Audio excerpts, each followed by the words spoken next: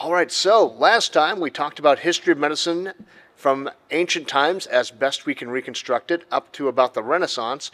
And today we're going to be doing our first bit of uh, kind of a specialized trip down a topic to almost the modern day or practically the modern day, which is what health and disease actually are. What did people think it was to be sick or to be healthy? And so, the um, by the time we got to the Renaissance, late Middle Ages, the overwhelming uh, concept of disease had not really changed much from the time of Galen and Hippocrates. It was that you had a humoral imbalance that was making your body out of whack and that therefore you would be unhealthy. But how that actually happened wasn't really known.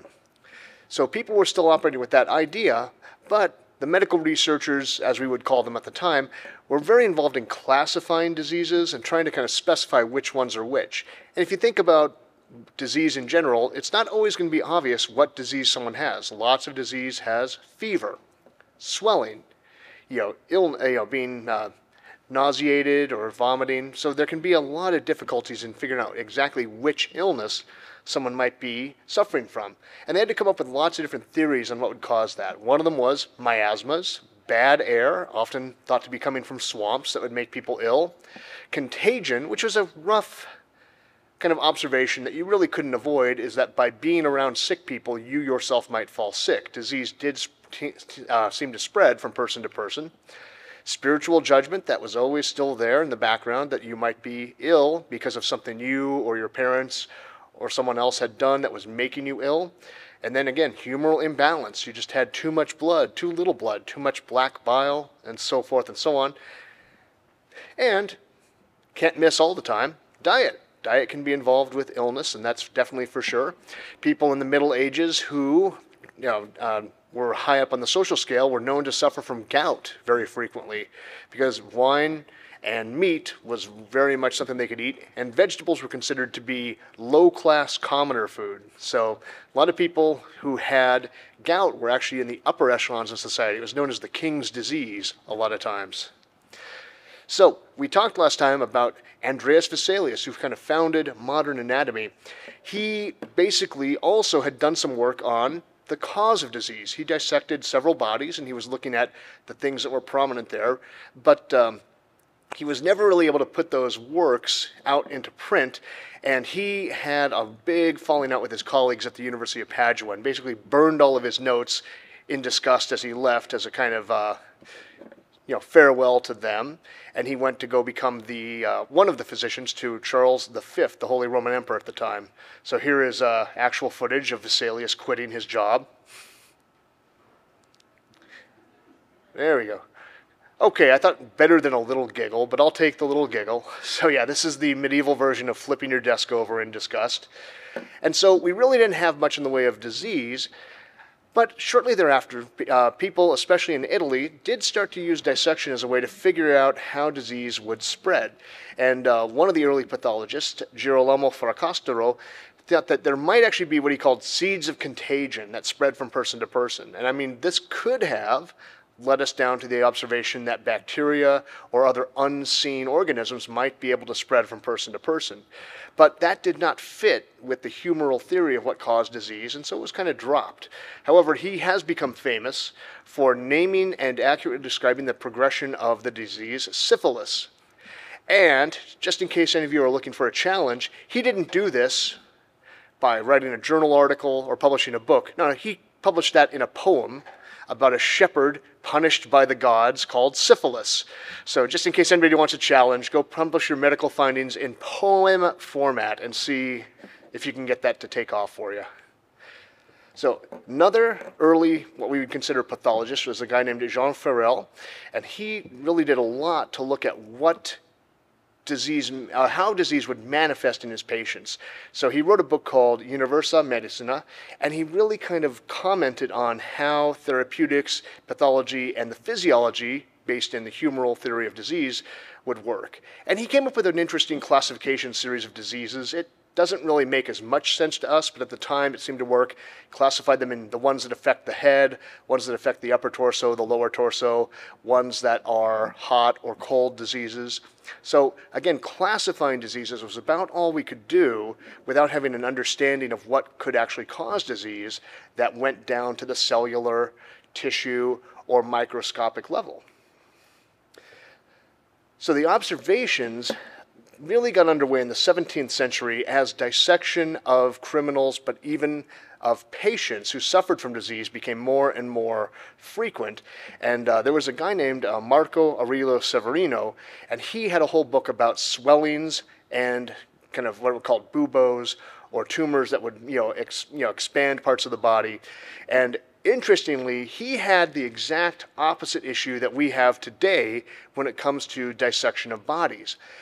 Those days, it was generally criminals who were condemned to death that were dissected, and these tended to be young, relatively healthy people who had not yet aged to the point where they would have disease. So he actually was upset that he had so many young, healthy bodies to dissect because he was thinking the examination of a single body of one who has died of some disease of long standing is of more service to medicine than the dissection of the bodies of 10 men who have been hanged.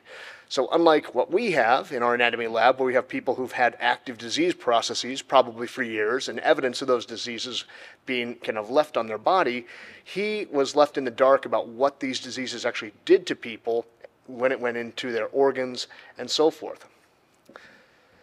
So, we had another person Franciscus Sylvius was actually kind of someone who brought chemistry to the study of medicine.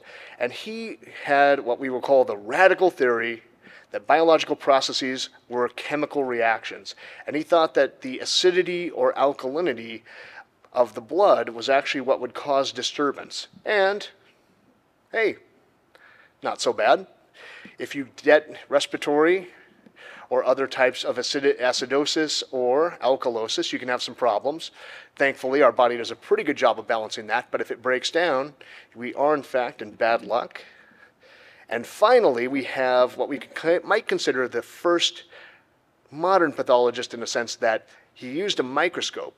And this guy, Marcello Malpighi, is the person who first described a lot of microscopic things, including capillaries.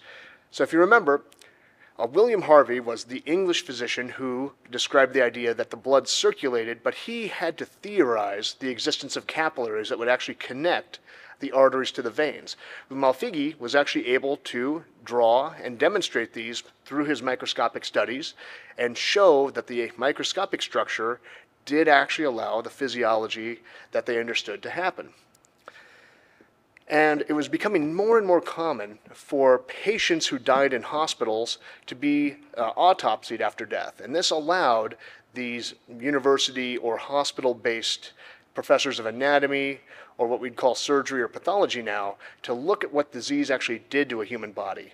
And these guys started to come up with uh, compendia or kind of collections of the diseases they'd find. Now, the first guy who kind of did this was Théophile Bonnet. And sadly, his compendium suffered from the fact that it was poorly organized. You really didn't know where to look for things in it, but it does have one of my favorite Latin names of all time. Sepulchretum sive anatomica practica ex cadaveribus morbo dentatis. So, study of pathological anatomy on the cadaver. So, that was what was floating in the air. And then along comes a guy named Giovanni Battista Morgagni, another Italian. He spent his entire career following patients through the hospital, doing autopsies on them after their death, and he wrote a massive compendium with an only slightly less cool name, De Sedibus et Causibus Morborum, The Seats and Causes of Disease. And this was a very comprehensive study of the patient's progression, their complaints, and the actual findings at autopsy.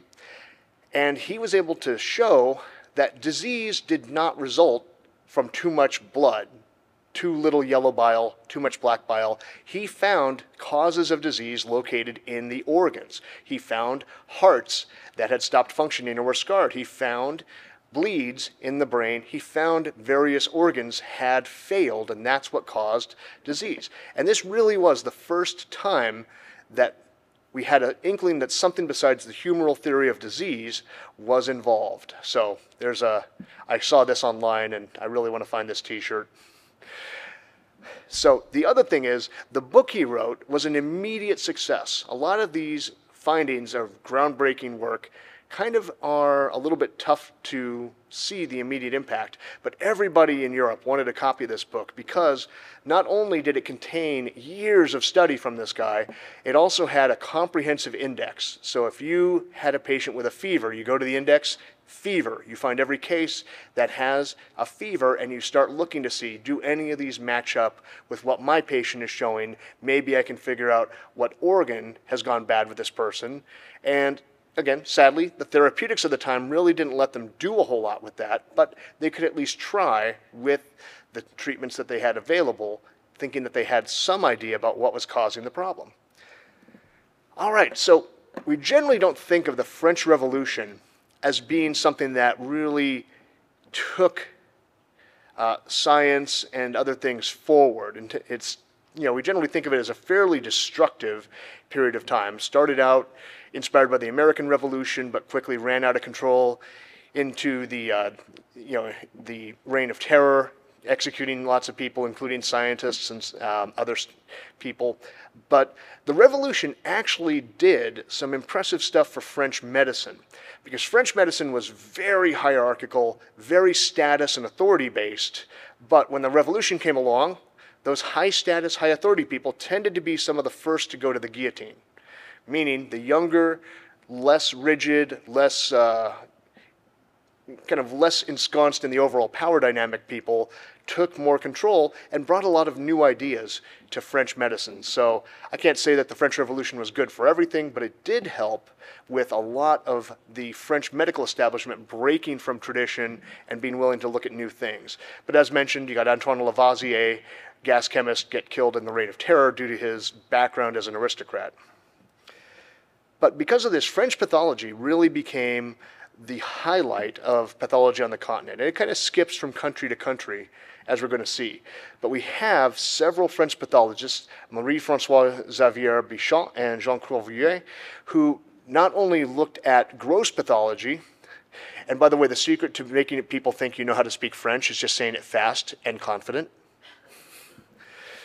But they brought this gross appreciation of pathology seen in autopsy and started investigating the organs as they would be um, removed and taking sections from it and looking at it under the microscope.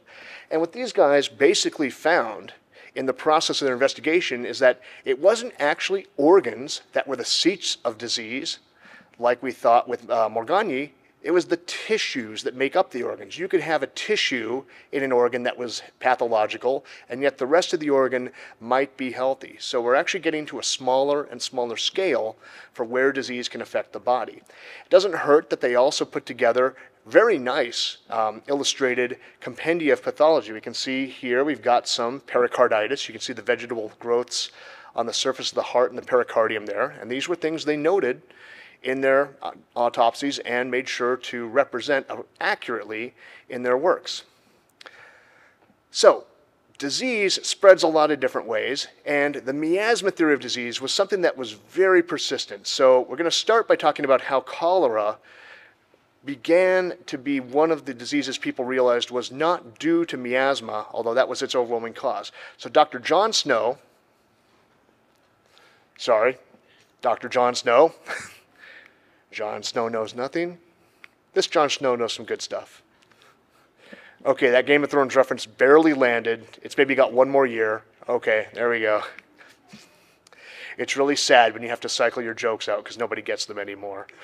So, John Snow was actually an obstetrician, but he noted that cholera, an epidemic that caused, you know, very massive, often fatal diarrhea, was affecting certain areas of the city, and everyone assumed it was because they were closer to the Thames River. They were closer to bad air. But he did what's considered one of the first actual epidemiologic studies. He went around to the houses of people who had cholera and kind of tabulated which houses had people with cholera, how many people in the house had it, and he found there were very localized spots. And he realized that the people who had cholera were all drawing their water from a pump on Broad Street. And this pump was renowned for having really good, clear water. People went there, and they, he found that even people who had died of cholera further away would get their water from this pump and take it to their house. So he had the pump handle removed, kind of famously, and the cholera epidemic that had started died off, but it's you know, widely assumed that he actually stopped a second cholera epidemic from happening because they broke down the pump and found that the walls of the well that it was pumping from had kind of rotted out and that a gigantic cesspool of human feces was leaking through the busted bricks into this drinking water, and cholera as a fecal oral disease was getting into this pump, and anyone who drank that water was likely to get it. Uh, he actually convinced people who were, you know, very, um, very focused miasmatists that he was right because he did really solid work outlining why he thought the disease spread the way it did. So miasma was kind of called off as the cause of disease for this, and it was the first real evidence that the disease spread through other routes, in this case, through drinking water. So at this time, Austria and Germany started to get a much more um, serious reputation for their medical activities, their medical practice. The problem was Austria and Germany had never had a French Revolution. That happened in France. But they were still had that, that was a joke, okay. but the, uh, the authority uh, hierarchies were still very rigid in these places. So there was a lot of top-down medical activity, but it was all very hierarchical, very much authorized from the upper echelon on down. So it's hard for new ideas to get a, a kind of a start there. And basically, the medical activity there was really strong. They started working on um, you know, mandatory autopsy for patients who died so they could always figure out what the cause of disease was. These hospitals almost became pathological factories for how they were able to follow the progression of disease to autopsy and starting with the patient's history. And so we had this huge hospital in Vienna called the Allgemeines Krankenhaus, just the hospital there, and it had roughly 14,000 patients coming through annually. So this guy was one of the early pathologists there. His name's Karl Rokitansky. And my absolute favorite bit of trivia from the history of medicine is this. Karl Rokitansky is the namesake for Mad Max Rockatansky, aka the Mad Max movies. The director of the Mad Max movies is actually a doctor. He financed the Mad Max movie, the first one, by doing extra shifts in the emergency room. And the Mad Max movies have lots of little medical trivia scattered throughout them. Like Mad Max has a blown pupil. You get a pneumothorax in Mad Max Fury Road and stuff like that. So go watch the Mad Max movies and tell yourself you're doing your homework. It's not a bad way to go. But we had a real rigid um, hierarchy in here, and this is really typified by the experience of a, a Hungarian physician who was working in uh, Austria called Ignaz Semmelweis. This hospital had two wings in its maternity department, and one was staffed by midwives, and one was staffed by, um, by uh, physicians. And the physician's wing had a roughly 21% fatality for women who gave birth in it, whereas the midwife wing had around a 3% mortality. And they basically couldn't explain why, other than, oh, well, the midwife wing it's closer to the fresh air of the mountains. The other wing is closer to the the miasmas of the uh, swamp. That's why people keep getting sick there. And women would actually try to postpone giving birth until they knew there were beds open in the midwife wing because everyone knew that your chance of surviving that wing were that much better. So, oh, my apologies, jumping fast.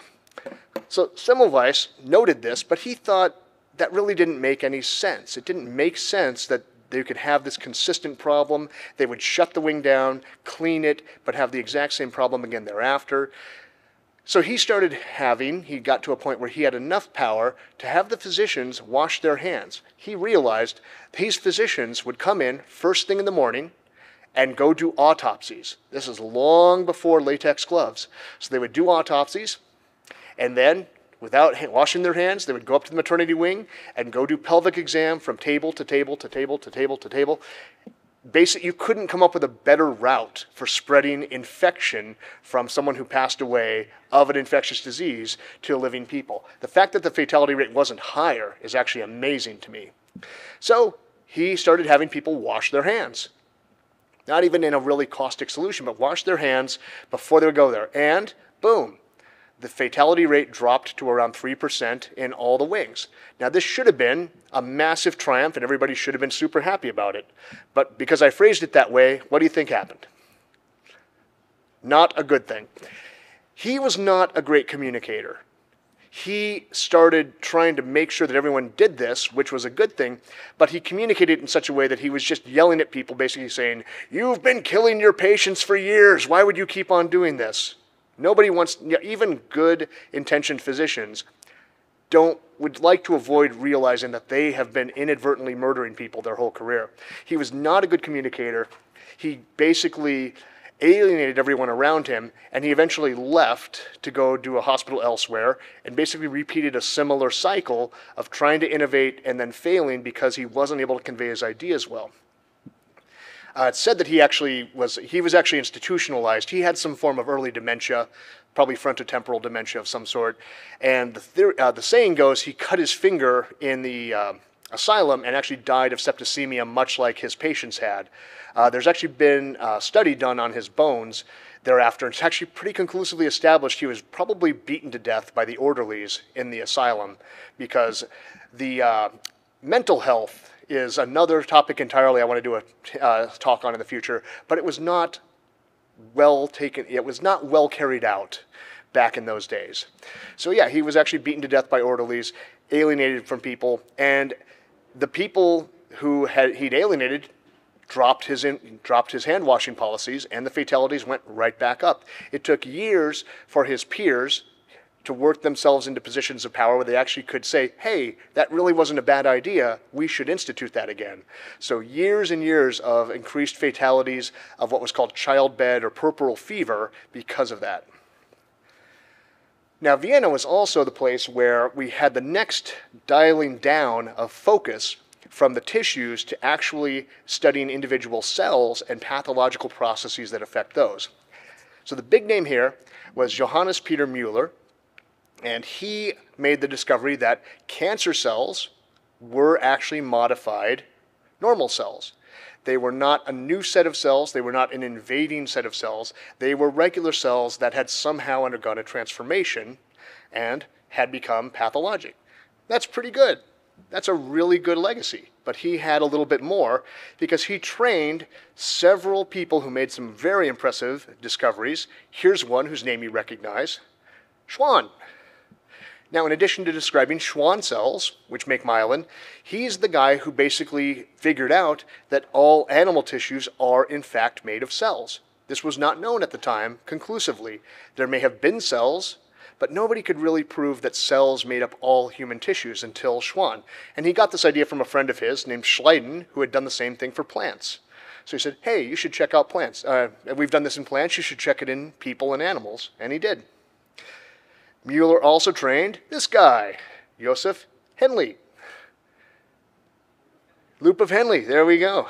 And you may like, oh, Loop of Henle, I like that, good job. You may not like him for this. He's the guy who came up with histologic terminology. So anytime we talk about stratified, squamous, cuboid, hey, you come up with a better idea. you come up with a better solution first. But yeah, he's the guy who came up with that terminology we still use to describe cells, their appearance, their function, and so forth. And if that weren't enough, we have this guy, trained by Mueller, Rudolf Virchow. Now, we're going to go through Virchow in a moment, but it's really tough to even know where to start with Virchow. So, you are all very smart people. We're all very smart people. Prepare to feel like an intellectual insect.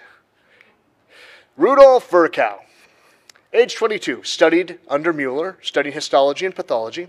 Age 23, became an assistant prosector at the Charité Hospital, so doing a lot of pathologic work there. Age 24, figured out what leukemia is. Age 25, graduated from medical school. 26, founded a new journal which still exists its kind of nickname is uh, Virchow's Archive, uh, simply to have room to publish all of his new findings and the findings of some select few friends. 27, wrote a report on a typhus outbreak that basically showed hey, disease happens in poor areas not because poor people are deficient or immoral, but because they have crappy infrastructure and no toilet facilities, no sewers, and so forth. And because he was basically saying that people are getting sick because they're low status, he got run out of Berlin. He got run out of the job because he had alienated so many of these high status people and became a professor in Würzburg after continuing to work and work and work for years, he was so famous, he returned to Berlin, was given a, chair, a chair of pathological anatomy at the Charité Hospital, and he wrote even more papers on anthropology than he did on pathology. He was a huge proponent of public health, actually served in the Diet or the governing body in Germany to, and took Berlin's sewers from the worst in Europe to the best in Europe because he knew that hygiene and health were intimately connected. So made sure that we had good drainage, good sewer and water supplies. He was a really well-known politician on the progressive side. And uh, anybody know who the guy with the spiky helmet is? It's not the Kaiser. Bismarck, good job. That's Bismarck. Uh, Bismarck was a very establishment military German politician, and he challenged Virchow to a duel. Uh, Virchow said, okay, we'll duel, but it has to be with scalpels. And then he said, okay, we'll duel, but here's what I'll do. I'm going to take some typhus and inject it into one of two sausages. You and I will choose our sausages, eat them, and whoever dies, dies. Um, he was not taken up on that offer for the duel. And if that weren't good enough for y'all, he was there when Troy was discovered. so, yeah, I encourage you all to be like Virchow, but don't be sad if you don't quite reach that same level of accomplishment. And one other thing anthropology, he was also ahead of his time in another way he was really annoyed by the anti Semitic parties and anti Semitic groups in Germany at the time. And he did a study of Jewish and quote unquote Aryan school children in Germany and showed that very few Aryan school children had blonde hair and blue eyes, and that around 14% of Jewish school children had blonde hair and blue eyes. And much later in life, when Hitler came along, he used every opportunity he had to just rip into how terrible Virchow was and what an awful guy Virchow was. So he also managed post mortem to make a lifelong enemy of Adolf Hitler. So there we go. What a guy. Possibly even more familiar to us is Louis Pasteur. Now, Louis Pasteur is a little bit of a break from our standard because he was not a physician. He was a chemist. He worked in chemistry, and actually his first work was on chirality, the fact that molecules can have two different ways of forming that are kind of mirror, image of, mirror images of each other, so an L and a D form. And he used the microscope to kind of look at how things were formed, and he observed germs. He was able to figure out, huh, there's these little things present in water, in the air, and other places. They were called nanomolecules at the time, because little living you know, small objects, so nanomolecules. But he was able to use that ability to use the microscope to solve some real problems. The uh, French uh, wine industry was in a lot of problems because they had a lot of batches going bad. The fermentation was not working. And so he found that in the good batches of wine and beer, there was yeast. He didn't know what it was at the time, but he always found yeast. Whereas in the bad batches, he found bacteria and was basically able to say, this is why it's going bad. And on top of that, came up with a way to fix it. What do you think the name of that process is? Pasteurization. You can warm it up enough to kill the bacteria, but not denature the substance entirely, and it makes it you know, pretty much safe. Similar thing happened with the silk industry. The silkworms had a disease. He was able to show it was due to a bacteria and came up with ways to deal with it he also came up with a way to disprove a very commonly held um, assumption, which was life spontaneously generated. If you had meat, it would spontaneously produce maggots that would become flies. People didn't realize, oh, it's because the flies land on it, lay eggs, and it makes maggots. Oh, dirty rags, those make mice. Because where do you see mice? They're always in these dirty rags. The theory was that life just spontaneously happened from certain sources. He showed that food wouldn't actually rot if you left it exposed to the air in such a way that dust couldn't get to it. But as soon as you let the dust and other activities in the air reach it, then those things, which turned out later to be bacteria, could work on it. So, microscopy, Louis Pasteur really did a good job of bringing that. And one thing Pasteur was, above all else, was he was a consummate communicator. He was a showman. He made sure that not only did people understand what he was saying, he beat them over the head to make his point. So, we also, and we'll bring him up again in the treatment of disease talk next time when we talk about rabies. He was also involved in solving the problem of what caused rabies. So now that we had specific microbes, we, the problem became which microbes are responsible for which diseases. And this guy, Robert Koch, was the person who figured out what was causing certain diseases like tuberculosis. He found that if you had tuberculosis, you always could isolate a specific microbe from it, and if you took that microbe and exposed a healthy animal to it, it would develop that same disease. And he came up with a list of what's called Koch's postulates about ways to prove that a specific organism causes a specific disease. He also figured out how anthrax is caused. That's the very uncomfortable looking disease that's shown here because it's another bacteria, but was able to show that that disease only happened if you were exposed to that specific bacterium. Now, they had a really good run actually not only in Europe but in Japan. Japanese pathology in microbiology actually was a real early scientific uh, kind of advancement in Japanese culture. But uh, they ran up against viruses, and there was nothing people could do to figure out what was causing viral diseases. They only knew that something small enough to get through every filter they could imagine and that could not be seen in a microscope was still causing certain diseases. So those viral diseases resisted their, their uh, capacity to diagnose and sp- specify what organism was it for a long time. We're now going to shift gears and talk about other concepts of disease and talking about mental activity. And really key here, we have phrenology. So, an English physician, Franz Joseph Gall, came up with phrenology, and it was based around the idea that the brain had specific quote unquote organs inside of it that were responsible for very specific functions. And that if you had a really keen function in an area, that part of your brain would be enlarged.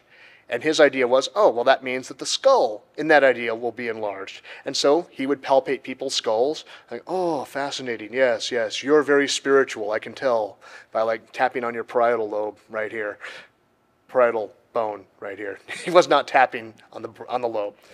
But basically, this was very popular, but quickly fell out of favor because people realized it was garbage. It didn't you know, no matter what happens in your brain, it doesn't leave a mark on your skull. And as soon as people tried to, you know, double blind study things and see if phrenologists could come up with the same findings from person to person, they knew it didn't.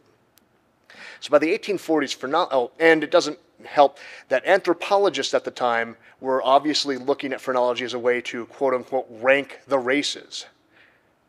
Which race do you think came out on top? A bunch of European bunch of European researchers? Yeah. So phrenology was basically a way of institutionalizing the racism in the society using science as a means to do it. So in addition to phrenology, uh, phrenology there were things like uh, anthropomorphic uh, studies of the body, and it always came down to a racial discrimination using that as a basis. But to people's credit, they realized this really was garbage. It did not work. And in terms of mental activity, it was replaced by a globalist view of diffuse brain activity. The idea then became okay, the brain, it doesn't have regions of centralization, it doesn't have areas that specifically work on one thing. It's a global network that interconnects, and that's that. Now, phrenologists were wrong, but they weren't completely wrong. There are, in fact, areas of the brain that are specialized for certain functions. So the globalist view was a reaction to phrenology, but it basically had to buy back a lot of its assertions because with study it became clear there were areas of the brain that had specific functions. And the first real evidence of this came in 1848, and there was a, ra- a railway foreman named Phineas Gage. Now, has anybody who's heard of the Phineas Gage story before? That's like everybody. Okay. Well, first off, good on you. Secondly, you can go see Phineas Gage's skull and the tamping rod that went through it in the Harvard Medical History Museum. So if you're ever in Cambridge, Massachusetts, go to the Harvard Medical School and go check it out. Now, what's hilarious to me is this is Harvard in a nutshell. It's the Harvard Medical History Museum. It's the hallway in the office building of their medical school. and his skull's just sitting there. I mean, it's this crazy cool stuff, but it's just a hallway with a lot of cool cases and so forth in it. But basically, he was working on the railway line. They were blasting some rock to clear space for the railway, and one guy ahead of him would drill into the ground, another guy would fill it with gunpowder, another guy would put a tamping bit of cotton in there, and Phineas Gage would come down with a heavy iron rod, kind of pack it down, and then they would set it off in a controlled explosion later. Well, the guy in front of him with the cotton wadding missed a hole, and his rod went down there, sparked something, and the tamping rod shot through his skull from under his zygomatic arch and out the top of his left frontal lobe. The, uh, the rod came to rest about 30 feet away, and the rod was heavy. It was like around an 8 to 12 pound rod. And the fact that, A, he survived the trauma of this, and B, survived without getting a massive infection thereafter. So the fact that he lived at all is amazing. But afterwards, his behavior had completely changed. He had been a very reliable, trustworthy, calm person, and he became very erratic. And we now know, yeah, executive function in the frontal lobes, your ability to control your behavior, to control your impulses. A lot of that had been damaged. Now, a lot of stories about him say that, yeah, he was just an erratic, crazy person for the rest of his life. It's actually not true. He got, he was able to adapt a little bit, got a, co- a job actually as a stagecoach driver in Argentina, and was buried in San Francisco. And it's kind of a miracle they were actually able to get permission to bring his skull back to Harvard thereafter from his family. But it really showed that his brain, his change in behavior was due to an isolated injury. Further along, we had some French pathologists, Broca and Wernicke, and they had patients who had aphasias, an inability to utilize language. And Broca showed people with an expressive aphasia had a specific lesion, and it was always in the same place. It wasn't all over, it wasn't global kind of destruction of the brain. It was a single spot located in what we now call Broca's area. And likewise, his colleague Wernicke showed that if you had the same sort of damage but further up towards the parietal, you could have a receptive aphasia. So we're finding that there are, in fact, specific areas of the brain devoted to specific functions. So the question then becomes well, what is the brain? If the brain's responsible for our mental activity, how does it work? the brain is really tough to deal with. You guys have felt what an embalmed brain is like. Fresh brains are even more kind of like difficult and kind of insubstantial. They're very, you know, soft, fatty. They don't stain well. But Camillo Golgi, uh, Italian histologist, figured out that you could use silver type stains to actually see the cells in the brain, and he came up with a staining method and stained various parts of the brain. And his findings were well, the brain is a massive interconnected network. Every cell in the brain is connected to every other cell in the brain, and that's how it works. A Spanish histologist, Spanish medicine and science was really primitive, but we had this one light of uh, Spanish science, a guy named Ramon y Cajal, worked on Golgi's staining method, but got really good at it and found that there were, in fact, visible gaps, very tiny, but visible gaps between nerve cells. And there were different types of nerve cells in different parts of the brain, but that there was a gap we now call the synapse. And so and they really did not like each other because their findings contradicted one another. And you know, Golgi was a very well-respected um, histologist, Ramon y Cajal not so much, but it has to have been very awkward because they both won the Nobel Prize in medicine and had to stand on the stage next to each other accepting the prize because apparently the Nobel Committee didn't realize they detested each other and their theories actually contradicted. But they did show us what the brain is actually made of and made it possible to kind of start looking at how the brain interacts. So yeah, awkward, but they did do the work. All right, time to talk America. American medicine actually did have a pretty solid start post revolution. The uh, Philadelphia hospitals were considered to be really pretty solid.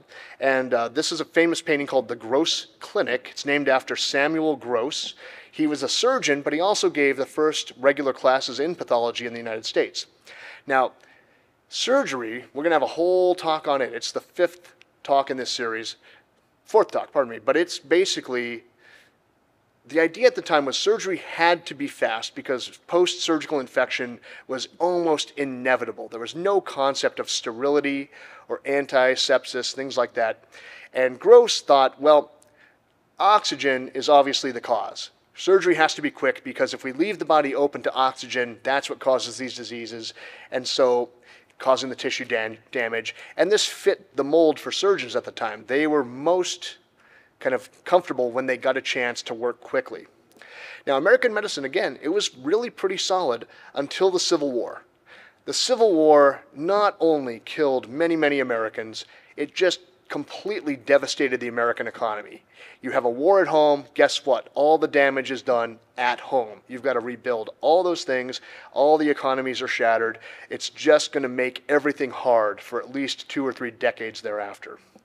So American medicine slid real fast into kind of just being rotten.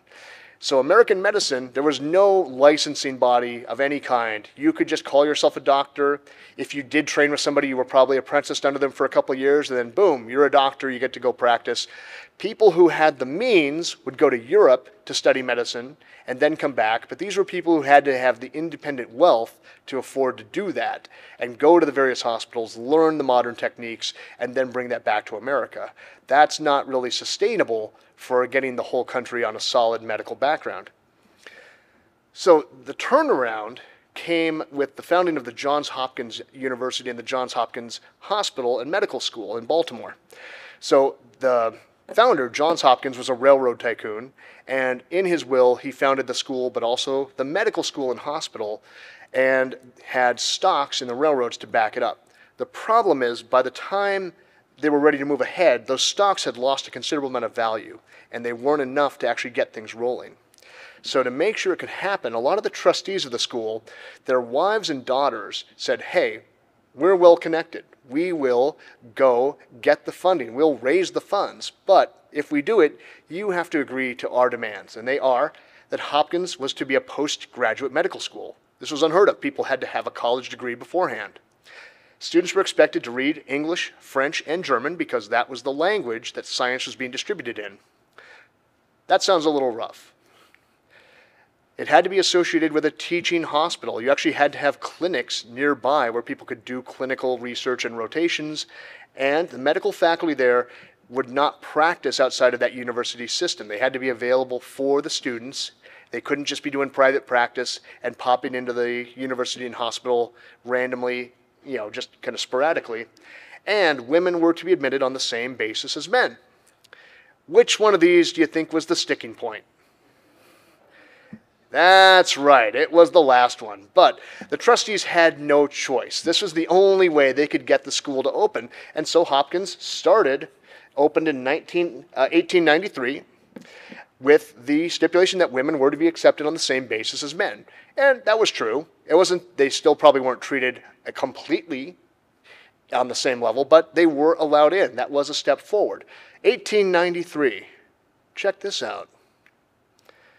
The first osteopathic medical school opened in 1892, allowing all women and all minority students to apply with equal footing one year ahead of time. But we never hear about that. So let's give it up. Yay, osteopathy! And even I can't find a better picture, but there are, in fact, these are all the women that were in the first graduating class of that uh, school in Pikeville. All right, so I've given some backhanded compliments to Johns Hopkins. Now I'm going to give actual compliments to them. The uh, people they found to staff the teaching um, of the medical school were top drawer. They were amazing. The first guy who was going to teach uh, pathology there was named William Welch, and he had studied in Europe and really knew his histology, his pathology really well. He discovered the bacteria that's responsible for gas gangrene. We call it Clostridium perfringens now, but it was actually named after him initially. And he trained lots of residents that on, went on to win Nobel Prizes. So lots of people who came around and did amazing pioneering work got there because of his encouragement of research and basing their learning on clinically observable phenomena. Now we'll come back in the surgery talk and some of the others to talk about some of these other people, but it was an all star list of initial faculty at Hopkins that really set it apart. So, Hopkins had opened 1893.